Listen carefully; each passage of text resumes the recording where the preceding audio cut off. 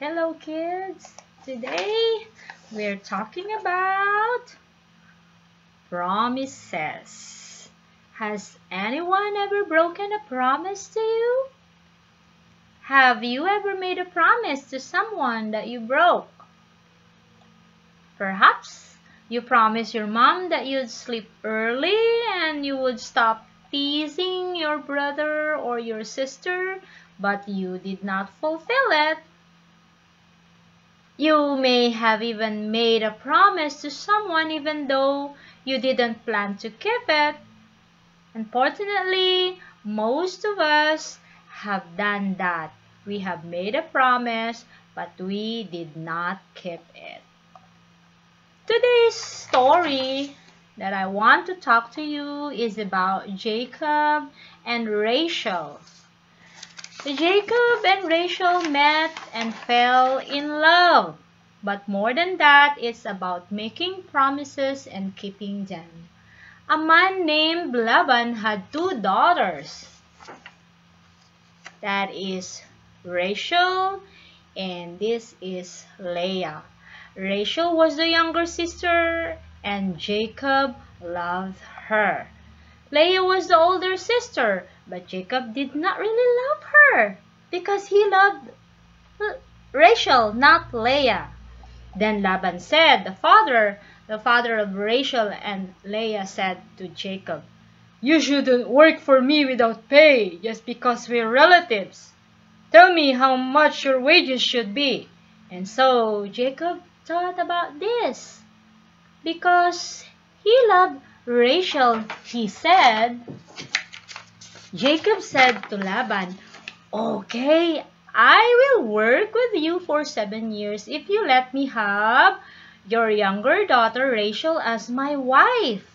And so, Laban, this is Laban, there is Jacob, and there is Rachel. Laban said, Okay, agreed. So, Jacob worked for Laban by tending his sheep, his farm, for seven years. Imagine that, kids. That's a long time to work, right? Seven years. But even though if it was a long time to Jacob, it only seemed like a few days you know why? Because he loved Rachel so much and he was so excited to marry her. Finally, after seven years, he went to Laban and said, Okay, I have done my seven years working for you. Give me uh, Rachel so that I can marry her. So Laban brought together all the people of the place and gave a big feast to celebrate. But you know what?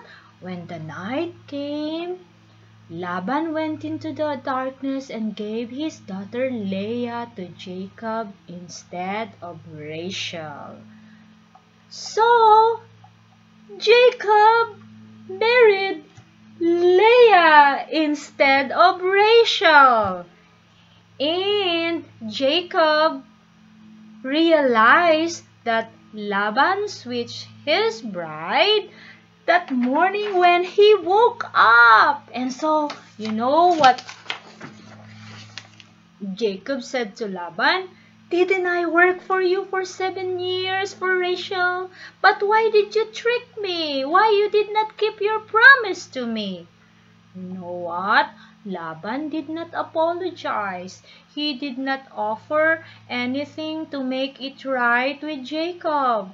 Laban said, Okay, if you'll work for me for another seven years, then you will have Rachel for your wife. Imagine that kid, seven more years. And because Jacob really loved Rachel, he agreed for working again for another seven years more. And then after seven years, Laban kept his promise and gave Jacob his daughter Rachel as his wife. Hmm? Laban? Laban wasn't very good at keeping his promise, right?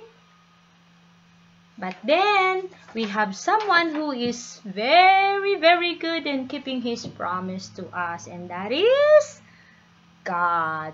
God keeps His promise to keep us and love us all the time. Okay, kids? So let us trust God that He will keep us safe, He will be with us, and He will bless us. God will bless all of you. Okay, kids? When God makes a promise, we know that He will keep it. So God wants us to be faithful too in keeping our promises. So the next time when you make a promise, be sure to keep it, okay? Don't break your promise. Okay, kids? Yes. Mm, before I go, let's uh, sing a song. It says, This is my commandment. You follow after me, okay? Once more. This is my commandment that you love one another, that your joy may be full. This is my commandment, that you love one another, that your joy may be full. Okay, let's sing. Sing after sing with me, kids. This is my commandment that you love one another, that your joy may be full. This is my commandment that you love one another, that your joy may be full. That your joy may be full. That your joy This is my commandment that you love one another, that your joy may be full. Okay, kids, let's sing it faster. Okay?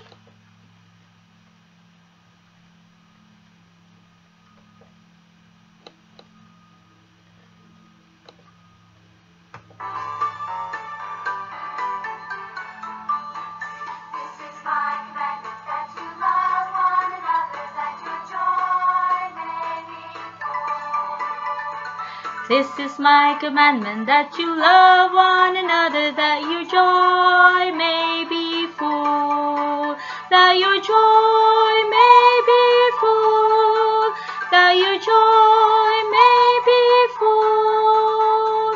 This is my commandment that you love one another, that your joy may be full. Once more. This is my commandment that you love one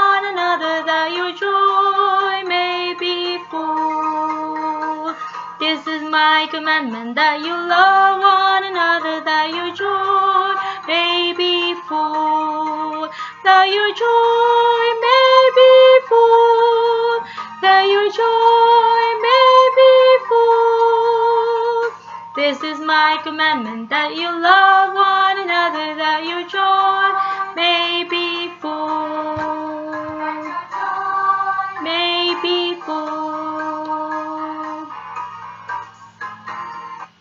Okay, kids, let me lead you in prayer.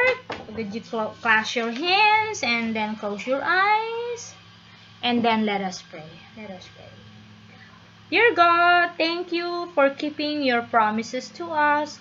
Thank you for being here always to help us. Please help us faithfully to keep the promises that we make to others. In Jesus' name, Amen. Bye-bye, kids. Take care.